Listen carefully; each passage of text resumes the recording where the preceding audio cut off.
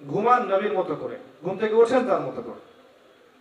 প্রত্যেকটা জায়গায় দোয়া পড়েন, বাথরুমে যান তার মতো করে, দোয়া পড়েন, বের হন।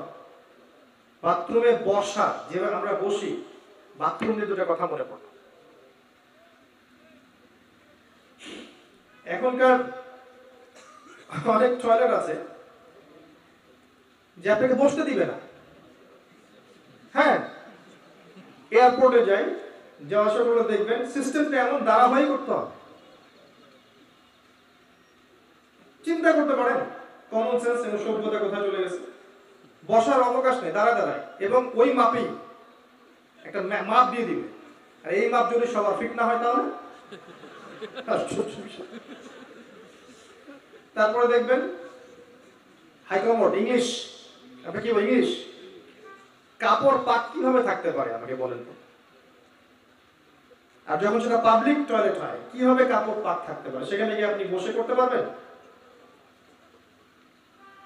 আবার খেয়াল করে দেখেন, এই টয়লেট সিস্টেমগুলোতে যত পানি আমরা খরচ করি, যত পানি খরচ করি, চিন্তা করে দেখবেন, পুরো ঢাকা শহরের যত টয়লেট আছে, এই টয়লেটগুলোতে যত পানি খরচ হয়, এগুলো যদি কিছুটাংশ সেভ করা যেত, আগামী ঢাকাকে পানি শূন্যতা থেকে বাঁচানো যেত।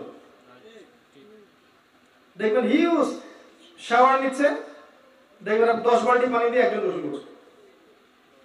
হ্যাঁ? অথচ গোসলের নির্দিষ্ট পানির পরিমাপ ছিল নবী সাল্লাল্লাহু আলাইহি অজু করছে, দেখবেন ইভেন মসজিদেও। যার ইমানের তেজ যত বেশি, তার ট্যাপের স্পিড তত বেশি। অথচ অজু করতে কতটুকু পানি লাগে? নবীর একটা পাত্র ছিল, যেখানে একটা পরিমাপ ছিল। এক দেড় লিটারের মতো হয় না, এক লিটারও কম। সাতশো, আটশো, নয়শো গ্রামের মতো হবে। এতটুকু পানি দিয়ে তিনি অজু করতেন। প্রতিটা সেক্টরে ফাসাদ দেখেন তো টয়লেটের কথা গিয়ে কথাগুলো মনে করব আমার কাছে মনে হয় ইয়ে আজুজ আর না আজুজের টয়লেট এগুলা। আর ইয়ে আজুজ আর না আজুজের খাসলত হচ্ছে কি জানেন? এই যে পৃথিবীর পানি শোষণ করে ফেলে দিবে পৃথিবীর পানিগুলো, মিষ্টি পানিগুলো লোনা পানি, মিষ্টি পানি সব খেয়ে শুষে ফেলে দিবে। টয়লেটগুলো পানি খেয়ে ফেলছে হিউজ পানি অপচয় হচ্ছে দেখবেন। আর এমন শহরে যে শহরে পানির লেয়ার দিন দিন নিচে নেমে যাচ্ছে। ঢাকার পানির লেয়ার দিন দিন দিন দিন নিচে নামছে, এখানেই পানির অবচয় হচ্ছে।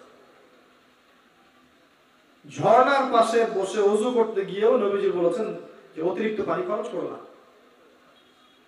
এবং সুরা মুলকে শেষ একটা করে দেখেন উদার আইতুম ইন আসবাহা মাউকুম গাওরা, ফামান ইয়াতিকুম বিমাইন মাইন তোমরা যদি কোনোদিন সকালে উঠে দেখো যে পানি নেই, নিচে নেমে গেছে, কে আছে? তোমাদেরকে পানি এনে দিবে?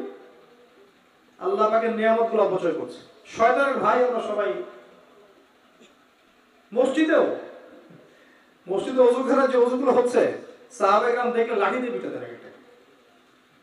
দেখবেন প্রচুর পানি অপচয় করছে। প্রচুর। শয়তানের ভাই হওয়ার পরে আবার সলাতের কাতারে দাঁড়িয়ে। শয়তানের ভাই হয়ে সলাতের কাতারে। তারপরে আবার বলে সলাতে মনোযোগ থাকে না। অজু তো হচ্ছে না? প্রপারলি অজু হচ্ছে না তো?